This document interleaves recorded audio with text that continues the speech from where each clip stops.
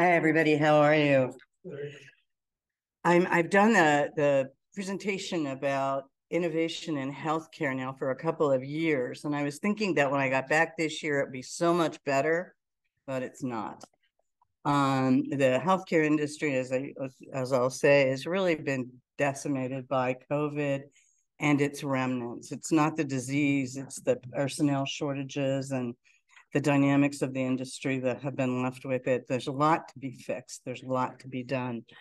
Um, but I, as as Allison said, I'm a serial entrepreneur. I think everybody should be an entrepreneur. No one ever should go to work for a big company, because when you go to work for a big company, you're living their dream. When you go to work for you, you're living your dream. And I think the most important characteristics about entrepreneurs is you have to have passion, integrity, courage, and resilience. You have to have the guts to get out and do that, to say, I'm going to do it in front of everybody, and people go, why don't you just get a job? You know, so, but, but it's fun. It's the only way to live your life. And I think um, it's for everyone, but it's especially for women because it gives you a lot of freedom. And um, women are just naturally good at balancing many things at the same time. So I think women are especially well suited to be entrepreneurs. And we'd like to see more of you out there. Unfortunately, when I started, there were very, very few. I'm glad to see there's more, but there's still not enough. Um, just a little bit about me. I've been clinically diagnosed as intense, which is a great thing also to be as an entrepreneur. And I'm from Pittsburgh. I have my undergraduate at down that street, Pitt, and at MBA at Tepper when it wasn't Tepper, it was GSIA back then. But I, I love CMU. I, I just think you're all and you're so fortunate to be here. And the friends I made decades ago are still my best friends today. And so that's the that's the other gift you'll get from Tepper. Um, so what MedRespond does is we actually use we use a video to simulate a conversation with patients, so that patients feel like they're talking to a guide before they have their open heart surgery. And we've done that model with a, a, few people, and we were lucky enough to land a collaboration with the Cleveland Clinic. Cleveland Clinic is the number one cardiac surgery group in the world, and they've been that way for well over a decade. Um, they're they're the best, and they they really know what they're doing, and they're really committed quality patient care, and we're lucky to have them as a as a um, partner. What am I? And this is just a very brief video that I am going to show you a little bit of, rather than try and get online and do a demo, uh, because I need I need my technical assistance. it worked when you practiced. No, it didn't. Maybe we have to get out of the Yeah, 'cause they presentation have mode. Let's see. Start over. So let me go to twenty. twenty in. Yeah, it's just, can I do that? Yeah, if you, Just give you, it's, it's a very short video, but it gives you an overview of what we do and how it works. can hit the, largely because we rely on the kind of solution that's always worked, a one-on-one conversation. Hello, I'm Darian, and I'm very pleased to welcome you to our interactive heart surgery program. No matter what type of surgery you need, you can rest assured that you will have the best care possible at Cleveland Clinic. The kinds of conversations that establish relationships. Before we begin, are you feeling ready for surgery?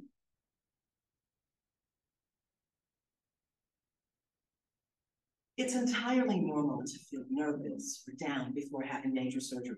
Your interactive heart surgery program will help you be as comfortable as possible and to create the kind of conversations that get results with even the most complex surgical procedures, we engage the top subject matter experts.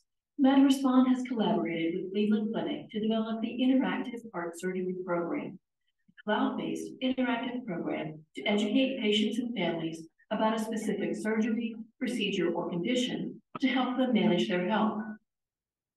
We have the data to prove that this approach works. The average patient engagement was ninety minutes. There was a fifty percent reduction in thirty-day post-discharge costs. Patient satisfaction scores rose to ninety-nine percent, and one hundred percent of patients using the program reported an improved overall care experience. Our programs focus on what is important to patients while emphasizing those behaviors that lead to better outcomes. We cover a broad range of topics to make sure So you can see we're basically creating a video bot to talk patients and their families. And you could do a lot of the same communication with a bot, but it's not as personal and she doesn't say it's normal to be scared. So we're really using that more personal touch of this coach in what we do. And like an hour and a half average engagement per patient is really phenomenal. And we've, we're doing um, several ROI um, outcomes studies, and they're all very, very positive that this approach works. When people know what they're going to expect and their family knows, they can support them. I had one, uh, the head of surgery of one of the hospitals said, when you told me they were on for 90 minutes, I realized that people have been going into surgeries for decades with many, many questions that just never got answered. And that's true. So now she's going to have to show me how to get back in. But so, so we've had success and we've been lucky enough to collaborate with the Cleveland Clinic. But what I want to tell you is it's a tough, tough, tough market. And um, so what's the big deal about healthcare? Why is it so important? It's because it's really big. It's eighteen point three percent of the GDP of the United States. Three years ago, that was seventeen, so it's continuing to grow. Um, it's just a remarkable, uh, it's a lot of our money going there. Um, and when you look at it, the hospitals and the doctors are accounting for over half of the spending within that system. So this looks like a dream market when you look at just those.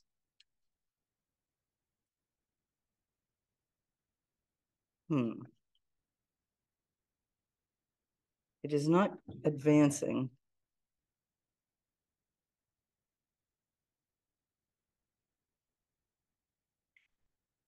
It, you can understand what's going on, if, you know, it's really identifiable, you can see, okay, I don't know what it. You have all the data that you need in this industry. It's really a very transparent industry. It's all out there. There's everything you can know. CMS has data by hospital, by surgeon, by procedure. They have the cost data. It's all out there. So what's the problem? And it's a big problem and it started with COVID and it keeps getting worse. Um, hospital expenses are skyrocketing. This is the per patient in, um, the increase in hospital expenses per patient from nineteen to twenty-one, and it's, it's grown twenty percent in total. And you can see what's contributing to that. Labor is up twenty percent, supplies are up twenty, drugs are up far more than twenty. And so what do most people do? They pass along their increase in costs, right? Well, this industry is stuck because they have long-term contracts. They can't go back and say, okay, CMS, that three-year contract, I want to double it right now. They just don't have that luxury, so they're stuck. Um, the federal budget um bailed them out the first year of COVID and basically took them from severe losses that year to just about having the same kind of performance they did the year before. But the federal funding and the federal spending is not there any longer to supplement them. What's really the big problem after COVID is the hospital employment is down approximately hundred thousand people from pre-pandemic. And th- there's an increased reliance on contract staff. The contract personnel came in and really offered really far greater um, wages um, to nursing staff, and, and they've jumped at it. So what used to be seven, four percent of the labor is now up to thirty-eight percent of the nursing budget is contracted out. And those contracted rates have grown over two hundred percent in the last couple of years. So you have an environment, costs are going out of control and you don't have, you have a cap on what you can do with it. Um, and there's really a huge imbalance because while the the providers, the hospitals are getting killed with the cost increases and the lack of breathing room. Um, the insurance side, the payer side are making billion dollars in profits. And that's because during COVID, people quit seeking care. So they didn't have as much expenses on a per member basis, but they didn't give the members a discount um, when their costs went down. So they've pocketed that difference and it's billions of dollars. And meanwhile, look what's happening. Those the insurers are having billions in net profits, the providers having billions in losses. It's just that imbalance is something that has to be addressed. And I think smart payers are recognizing that they can't succeed alone, that they need to figure out payment structures that take that, share the wealth, and, and help reach out to um, providers who are drowning. If you have a device or a technology or a innovation that targets providers, it's a very tough market to be selling into. It's like selling water to a drowning man. They're just, I, I was speaking with someone of the head of innovation at a major clinic and said, we are so stretched just trying to tread water. It's so hard for us to even think about an innovation because an innovation of necessity means I'm I'm going to try something new. I'm going to change. So it's going to be an increase in what I do. It's going to take my energy. It's the I have to have apply energy to change, and the system just doesn't have energy. But that same person, and this is a smart provider and a smart system, said to me, there are people in healthcare, though, who recognize this is the time that innovation needs to happen. So, as difficult as it is, we can't survive without innovation. So, they're welcoming it. But as you go in with an innovation, you have to really be careful about not increasing the burden of the healthcare team. I was uh, I was at a at another clinic. We were talking about well, if the clinicians use your system will then increase their work. And they were telling me about a program they had that doctors had to set up emails and patients could send back emails. And it was this great system how patients were going to communicate with their doctors every day. But now doctors had a stack of hundreds of emails at the end of every day. And then they pulled the plug so just couldn't, you know, you're setting an expectation that patients are going to get an email response and doctors just can't do it. Um, so you really got to be keep your eye on what's the impact of the workflow that you're going into with your um, innovation. Plus, there's a lot of other things that make healthcare difficult. It, it's a political football. Um, can you imagine if the cost of cars were something we that changed based upon the majority in the Senate. I mean, our approach and outlook on healthcare is being decided by politicians, and and it's become a, a source to manipulate. It's crazy. The most vital thing we have to care for the you know the population is now manipulated by um, politics it's responsible for lives, it's complex, it's regulated, and I'll talk a little bit about these. So it's it, the innovation can't jeopardize lives. We're under the Hippocratic Oath that says, above all, do no harm. And they, you know, when Tesla, Tesla just has a problem with the car, what did they do? How many cars did they recall? You don't have that luxury whenever you implement an innovation in healthcare. It's like there's no such thing as a whoops, let's redo that um, heart transplant or that implant. They do, but um, the level of this, the level of risk and the level of harm is you have to prove that you're making it better and you have to improve efficiency. And one of the challenges if you are going into healthcare is how do you prove efficiency without implementing your system? And how do you implement your system if you have to have the proof first? So it's a little, you know, it's catch 22 and how you succeed there. The challenge is how do you prove it when you don't have the data? Problem is in this industry, believe it or not, interoperability is still a challenge. You have the claims data over there that tells how much gets paid, but that's not anywhere connected to the electronic health record that has exactly what was done. Um, now the electronic health records feeds the claims data, but it never goes back. And that loop is, is it, I used to work in the steel industry and, and now I realize the steel industry 20 years ago was 30 years ahead of the healthcare industry in terms of being able to identify its products. So it's it's really and the critical data is not coded. So you want to see, I want to compare is this outcome, I'm improving the outcome, and then you find out doctors are putting key data in comment fields because they don't have the time and they don't the, the electronic health record is too hard. Um, there's a lack of transparency about healthcare costs. I was talking to a physician one time and I said, um, what's the cost of this procedure? And he said, you, you want to know what we charge for it? Because I want you to know what we charge for it has nothing to do with the cost of the procedure. And it was like, wow.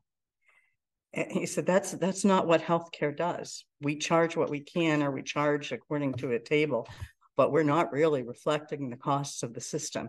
And if you think of everything else you evaluate with analytics and everything you're taught, having reliable cost data that's transparent is really key to improvement. And, and, and it's not there. Um, hospital systems are complex. There's mergers and acquisitions that are creating complex organizations. You have several hospitals that get merged together and hundreds of practices, outpatient centers, then labs and clinics. And then you have the system level of lead, leadership and then the hospital level of leadership. And sometimes each hospital has its own board and they're all in silos. So there's five hospitals in the system and each has a chief cardiologist. Well, there's a, you know, there's a push in healthcare there has been for um, decade to eliminate those silos and make um, so that, for example, the Cleveland Clinic, cardiology every in every hospital reports through cardiology. It, you know, but you won't. You'll still find many hospital systems where there's an ind independent fiefdom, and those fiefdoms are very powerfully led by um, personalities, and they like it the way it is. So it's it, that's hard. So you, how do you get into it? One of the challenges you have is who's the decision maker and how do you, how do they buy and how do you get into that? And it's not the same, no matter where, you know, where you go. It's very, it's very dependent upon the organization, but it's also dependent upon the personality of the people within that organization. Um, it's heavily heavily regulated. You have to watch all of these issues: the FDA, JCAHO, legal requirements, the IRBs, confidentiality and HIPAA, data security, cybersecurity. Um, it, it, takes a long time to work through each hospital system's security requirements, and it's very costly. Um, um, it's very costly to be able to have a system that meets these requirements and have all of the qualifications and certifications that are called to service this industry. So um, that takes time. And the reason they're so nervous about all those um, requirements is these violations are enormous. Um, on a per 50,000 per incident up to a half a one and a half million.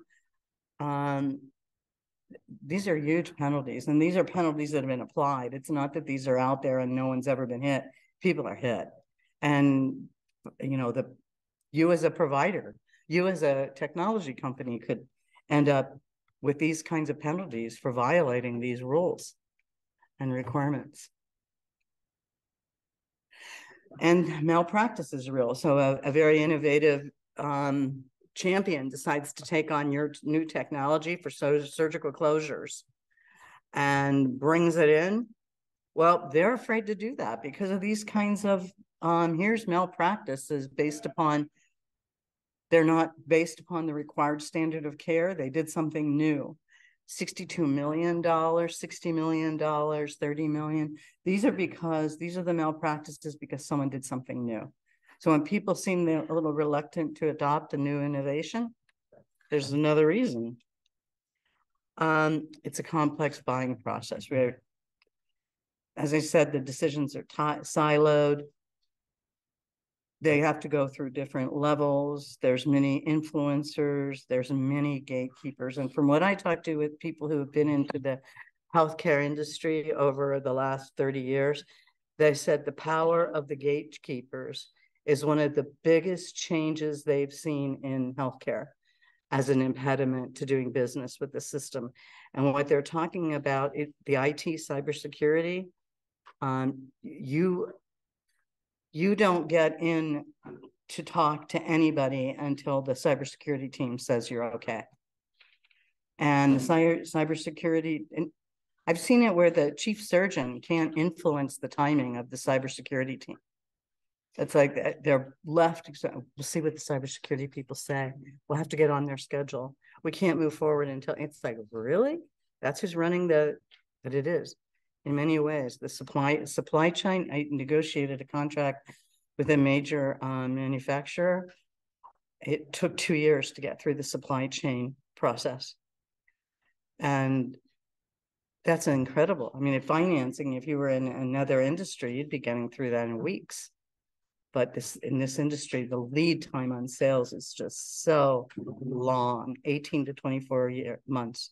So just figure out how, that means you have to fund your operations through the development, through the testing, and through an eighteen to twenty-four month sales cycle. So you have, because you're not gonna get any revenue. A long time pre-revenue in this kind of an industry. It's, it's painful. There's evolving payment models, and if you're really lucky, you can find a way to position yourself attractively into this payment model. So some of the some of the indicate quality indicators will actually drive reimbursement. So if you have an innovation that impacts that quality indicator, you'll actually increase the reimbursement a provider will get. So imp- important, don't start with your innovation, start with quality indicators that increase revenue and see how you can match innovations to those. I, I, I think that's a, a, a very good strategy to um, pick where you're going to land inside an industry like this. And as I said before, that, that the stress of the providers is, is palpable.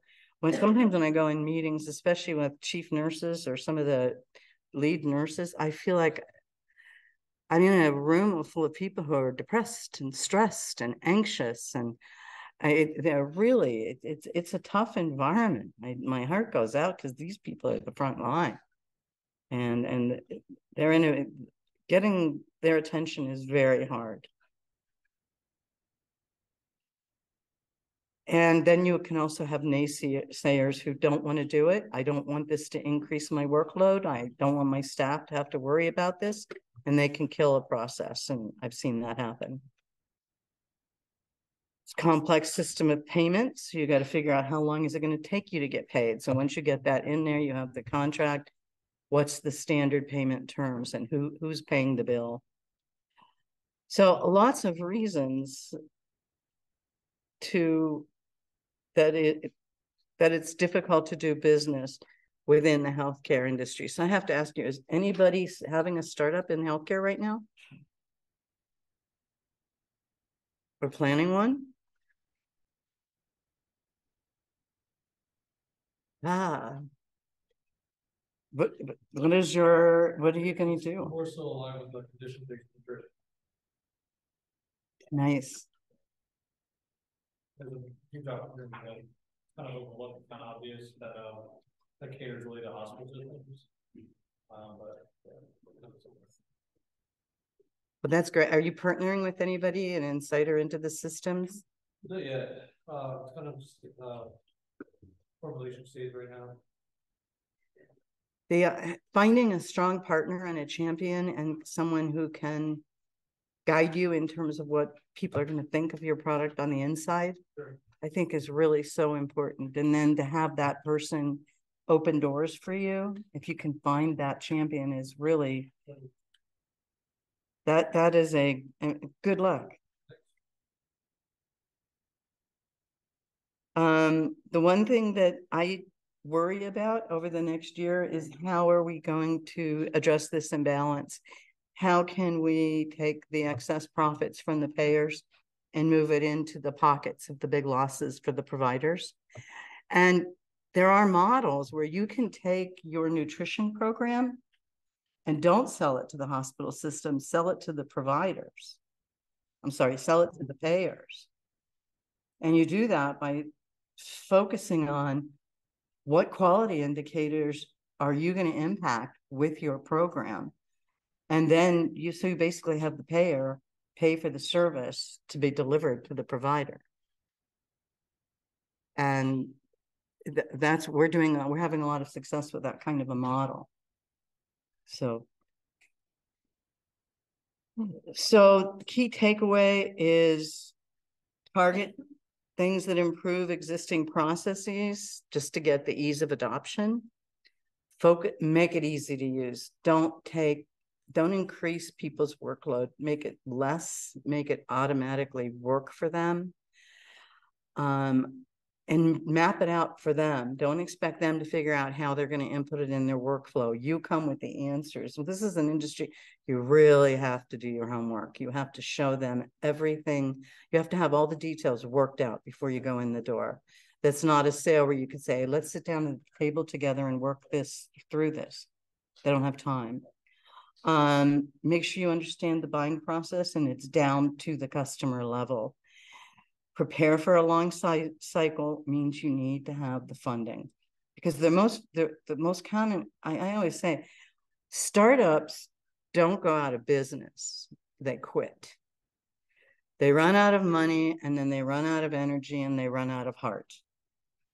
And you have to just keep going and going and going and work hard at it, but be prepared for a long, long haul and never give up. Because as Babe Ruth says, it's hard to beat a person who never gives up. So that's um that's what I have to say about healthcare.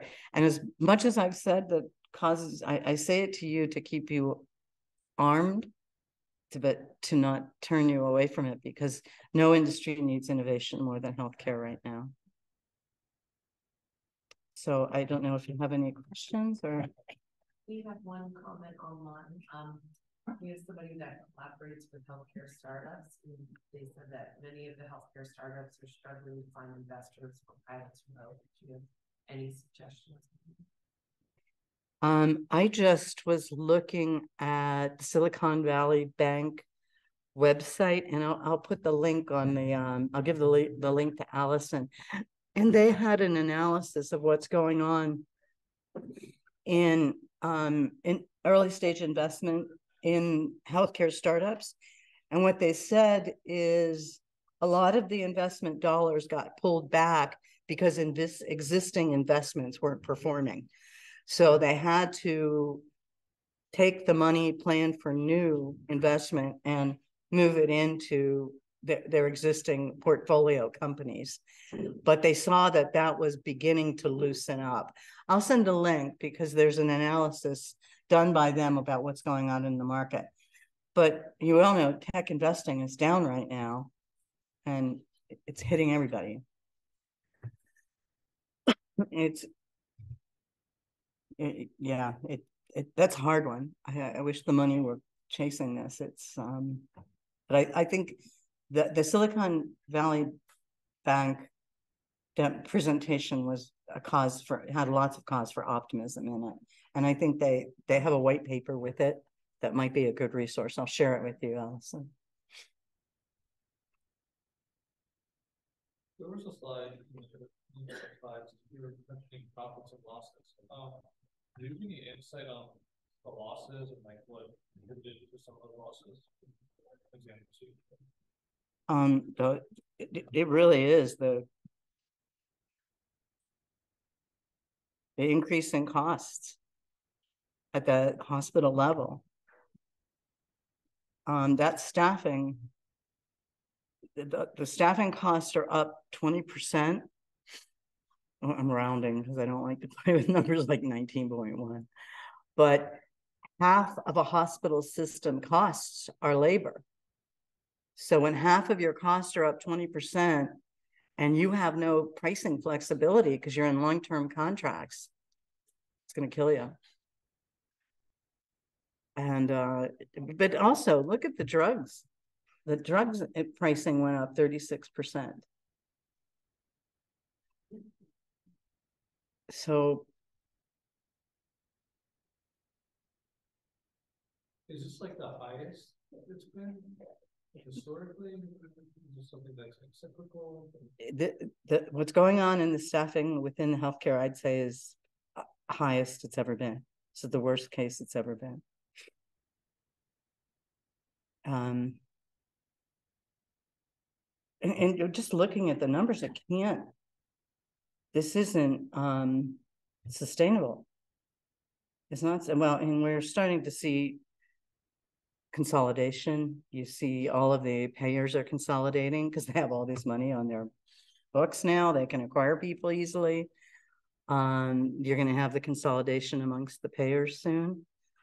Um, and, and those, so all that's bad news except for innovators because those changes are the, are the seeds where innovation can take place. But, you know, it also, it's, I'm not gonna, it's a challenge. It's a challenge. But I- from my experience, the most successful things we've done are when we collaborated with industry champions. And um, not everybody is going to be a, a candidate for your champion. You really have to find someone who believes in change and who's committed to that. And not every person is. So, you know, you can't knock on every door and expect it that you're going to land and find your um, champion. You're going to have to find the innovator and, and they'll help you. They'll help you. Yes. Yeah, you were alluding to my question earlier about the increasing consolidation in the industry. Do you think that makes it more challenging for innovators to work with these big health groups as they get bigger? Or, and also, do you think it would be easier for an innovator to work with a hospital site versus the system level? Or just, what have you seen in? Um, trying trying to sell to the the the huge organizations is incredibly difficult. I think um, starting at a regional hospital, starting at a, um, uh, finding an innovator at a regional hospital to prove your um, get your proof, and then. But you know, and I. Even then, you're going, to go, well, that's just a regional hospital. That'll never work in our system. Um, but but that you've got to get in the door and you'll get in the door faster at a regional center with and you'll find an innovator more likely at that level. Um that that I wouldn't I wouldn't try selling to the big ones first. That yeah. I wish I could say you, you might get lucky. You might find sometimes you know how we got into the Cleveland Clinic? there was a capital innovation contest in Cleveland. And we submitted and did a, a submission to the innovation contest, which we had to go and present against 200 companies globally. And we got first prize. And first prize was an entree to Cleveland Clinic. So sometimes those are, and I know uh, I met one organization that did nothing but their whole strategy was to submit in comp competent you know competitions like that. Like I mean, they were doing 10 a week. I think that's a little they ended up going out of business. because you have to have a business beyond competing in competitions. But I think strategically placed and getting in those at the right time. Um, and I'm really embarrassed to say this. We entered one of those competitions. And at the end, I had one of the judges came up to me and said, you should have read the rules a little bit better. Because you violated one of the rules of the thing. And if you hadn't violated it, you would have won. It's like, ouch. So the rules matter on those things. Read, the- read the fine print is what my advice to you was, so. But fortunately, I learned and I, I read the rules on the Cleveland Clinic competition. Thank you. Thank you. We have an online question. Um, what is your perspective growing access through providers marketplace such as the wheel? I, I don't know enough about that, comment on that.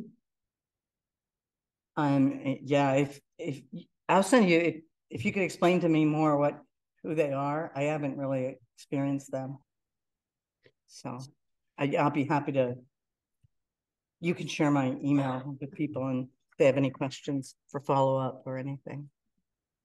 I'm happy to connect offline, but mainly it's a provider marketplace where they're basically growing access to doctors through telehealth.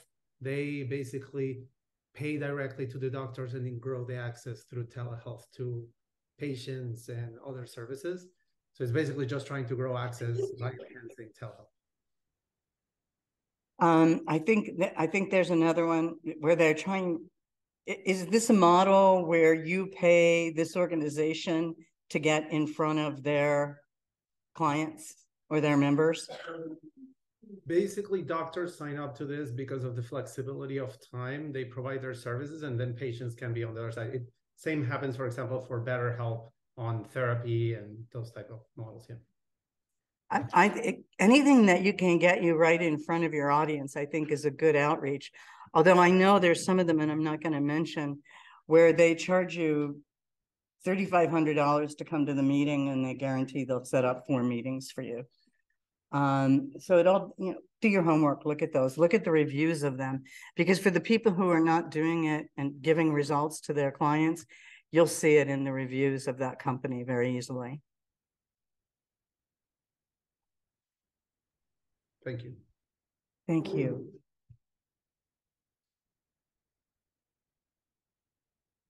Do you have any other questions? I just, I, I want to thank you all today and I want to wish you all the best luck in the world and enjoy the friends you've met at Tepper and and keep them for the rest of your life and go in business together and uh conquer the world and fix this. Thank you.